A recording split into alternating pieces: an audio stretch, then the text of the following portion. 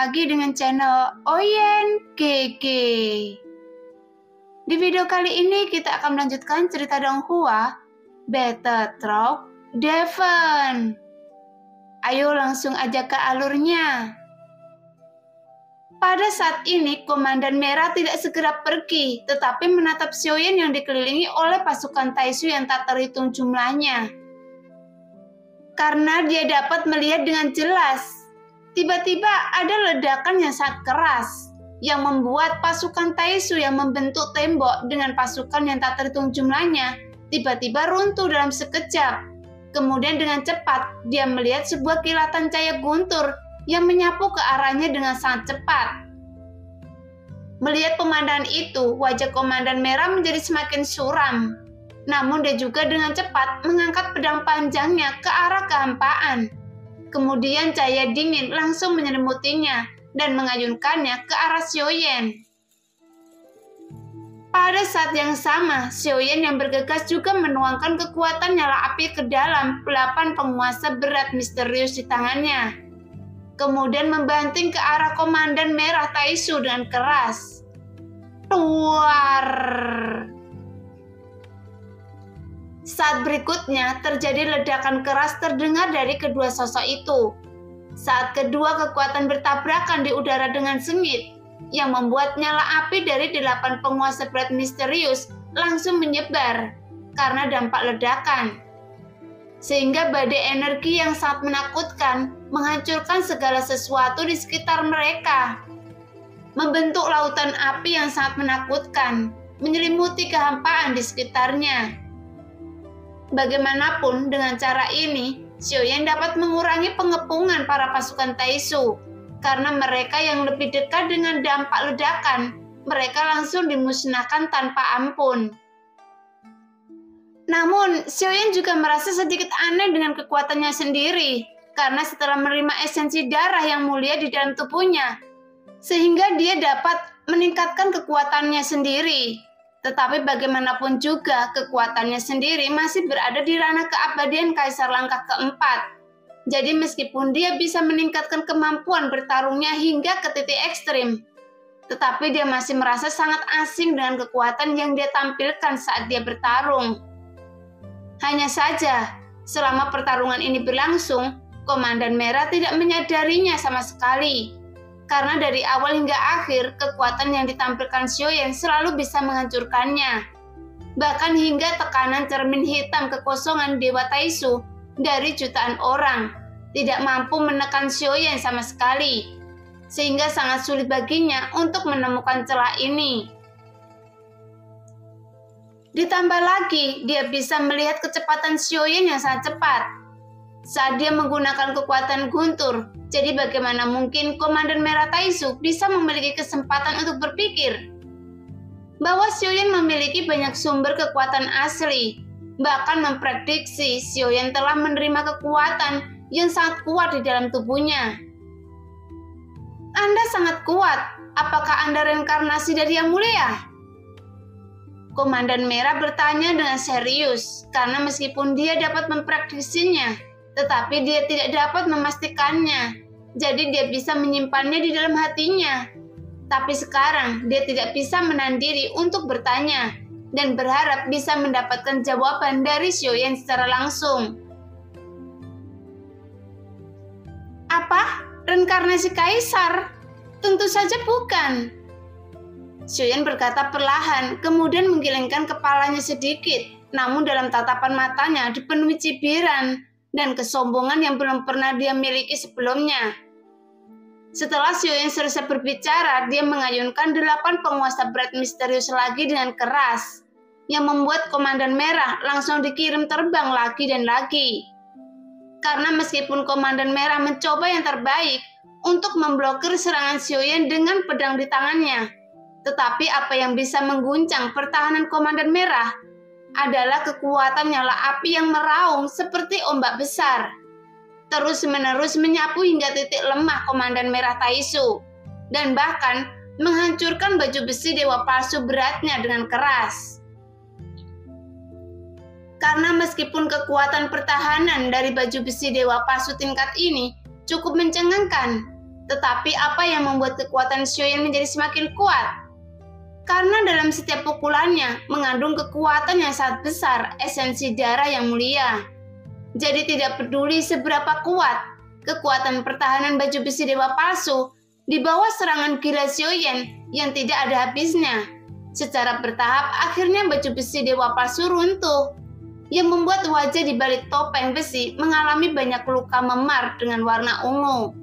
Dapat terlihat dengan jelas yang menunjukkan tidak peduli metode apa yang Komandan Merah gunakan sekarang.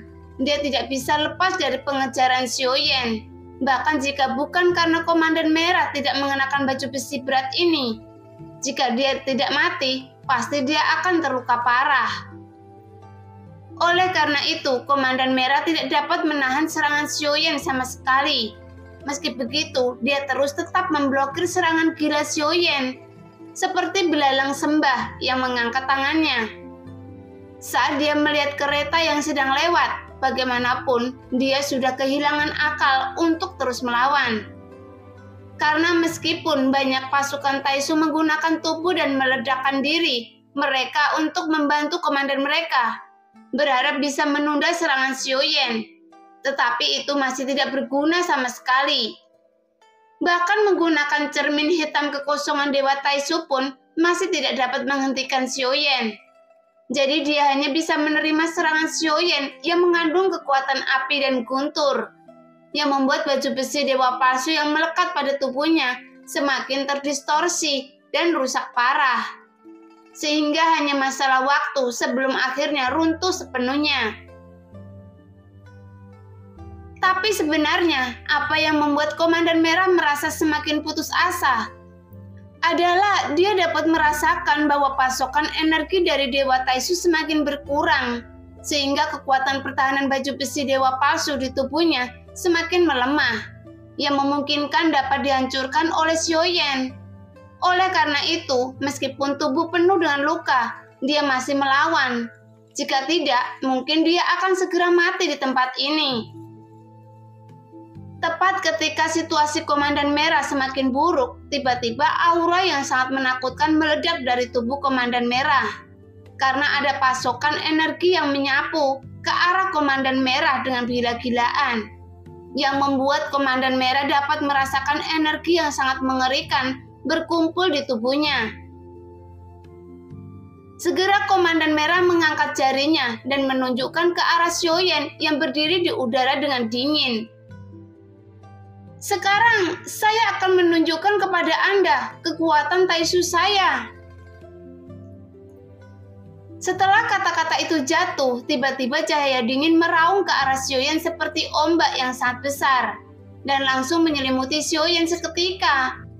Namun tetap tidak bergerak. Melihat pemandangan itu, Komandan Merah segera menjauhkan diri dari Xiaoyan. Namun tepat dia sedang bergegas ke arah Dewa Taisu dengan cepat Tiba-tiba Xiaoyan mengejarnya di sepanjang jalan.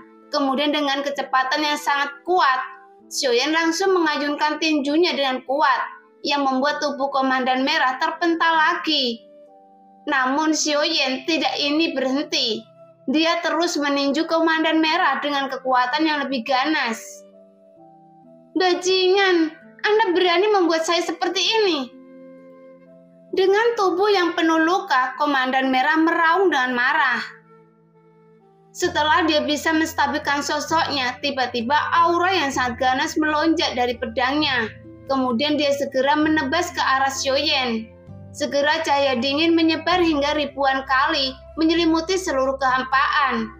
Kemudian sosoknya menyeburkan seteguk esensi darah ke dalam pedangnya, yang membuat energi kekerasan melonjak hingga ke langit. Sepertinya kekuatan pedang ini tidak buruk dan tidak ada keraguan tentang kekuatannya. Mungkin keterampilan bertarung ini termasuk dalam tatanan keterampilan bertarung kuno yang tandus tingkat tinggi. Apakah ini adalah promosi? Xiaoyan mendengus dingin, kemudian dia melangkahkan maju. Mengangkat jarinya sedikit yang membuat cahaya dingin yang menutupi area ribuan kaki tiba-tiba langsung menghilang dengan cepat Seolah-olah energi yang sangat menakutkan ini diserap oleh Xiaoyan dalam sekejap. ketika Komandan Merah melihat pemandangan itu, ekspresi wajahnya dipenuhi dengan ketakutan. Menatap lurus ke arah Xiaoyan di depannya dengan kosong. Kali ini, dia merasakan ketidakberdayaan yang belum pernah dia rasakan sebelumnya. Sekarang akhirnya dia mengerti, ada kesenjangan kekuatan yang seperti jurang maut yang menunjukkan tidak peduli seberapa kuat dia sekarang. Dia tidak dapat melawannya sama sekali. Lagi di bawah tatapan kosong Komandan Merah, tiba-tiba sosok Xiaoyan menghilang. Meskipun dia bisa merasakan aura Xiaoyan, tetapi dia memiliki cara untuk menghentikannya yang memecahkan cermin hitam kekosongan Dewa Taisu dalam sekejap. Kemudian dengan cepat, sosok Xiaoyan muncul di depan komandan merah yang jaraknya kurang dari satu lengan jauhnya. Kemudian menunjuk lurus ke arah komandan merah dengan jarinya. Anda harus tahu, saya telah memperkuat serangan Anda untuk saya. Sekarang saya akan mengembalikannya kepada Anda. Setelah suara Xiaoyan keluar, kekuatan cahaya dingin langsung meledak keluar, yang membuat suhu di sekitarnya turun tajam. Awalnya serangan ini ditunjukkan untuk Xiaoyan, tapi sekarang telah berubah arah dan langsung menutupi sosok Komandan Merah. Pada saat yang sama, tubuh Xiaoyan juga memancarkan cahaya kemasan yang mengalir ke seluruh tubuhnya yang membuat setiap pukulan yang ditampilkan Xiaoyan seolah-olah dapat merobek kehampaan. Dan itu langsung menghantam tubuh Komandan Merah dengan keras. Tuar! Dengan suara teredam, ledakan keras menyebar ke seluruh kehampaan. Sudah berapa banyak dan bintang yang telah Anda musnahkan? Bahkan jika Anda mati sekarang, itu masih belum cukup untuk membasuh jiwa-jiwa mereka. Jadi dalam setiap pukulan yang saya lakukan, itu hanya untuk membalas ribuan makhluk hidup yang tak berdosa. Yang Anda bunuh. Saya bukanlah reinkarnasi dari Yang Mulia, seperti yang Anda tanyakan. Sekarang saya akan memberitahu Anda bahwa saya sendiri adalah Yang Mulia. Tapi karena Anda sudah datang ke sini, para dewa dunia sensi telah datang ke barat dan mereka akan menghancurkan Taisu Anda semuanya tanpa tersisa. Xiuyan berkata dengan suara yang dalam, namun alasan mengapa Xiuyan dengan sengaja mengatakan kata-kata seperti itu, karena tujuan dari pertarungan ini adalah untuk membuat Komandan Merah merasa bahwa dunia sensi memiliki kekuatan yang lebih unggul. Sebaliknya, membunuh Komandan Merah adalah masalah kedua. Sebenarnya Xiaoyan telah meminta bantuan Sang Ratu berkali-kali, sehingga Sang Ratu memberikan esensi darah yang mulia. Dengan esensi darah yang terbakar di tubuhnya, Xiaoyan dapat merasakan ada kekuatan yang tak terbayangkan meletus di tubuhnya. Sebenarnya dengan kekuatan Xiaoyan sekarang dapat membunuh Komandan Merah seperti membunuh seekor ayam. Namun mengapa Xiaoyan tidak langsung membunuhnya? adalah karena tidak ingin benar-benar ingin membunuhnya. Jadi dia hanya bisa menekan niat membunuh dengan tangannya. Bagaimanapun, membiarkan Komandan Merah hidup untuk sementara juga merupakan pengaturan yang dibuat oleh Sang Ratu. Karena dengan pemandangan dia menghancurkan Komandan Merah, itu akan menjadi ancaman terbesar untuk Taisu. Jelas Sang Ratu juga telah memberitahu Xiaoyan ada kekuatan besar tapi yang belum aktif dan mereka terus bersembunyi di dunia sensi dengan sangat dalam. Jika tidak, mereka akan menjadi bahaya yang tersembunyi karena mereka ibarat duri tajam yang terus tumbuh di dalam tubuh. Ketika mereka semakin besar, itu berakibat fatal di saat tubuh semakin lemah. Oleh karena itu, sang ratu meminta Xiaoyan hanya untuk membuat Taisu berpikir bahwa yang mulia masih hidup Kemudian dia juga ingin menggunakan tuan muda ke-12 ini sebagai umpan. Apakah dengan hidup dan matinya bisa menarik para pasukan Taisu yang lebih kuat? Yang tersembunyi di dalam dunia sensi keluar.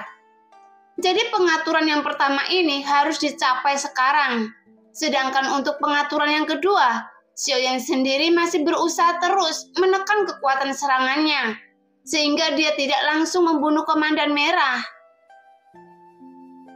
Bagaimanapun, satu-satunya sosok yang memiliki jiwa dalam kelompok Taisu ini, sehingga Xiaoyan bisa mencari jiwanya. Jadi Xiaoyan hanya membuatnya terluka parah dan putus asa. Sehingga dia bisa menyampaikan pesan kepada Taisu lainnya yang masih bersembunyi. Jika yang mulia masih hidup.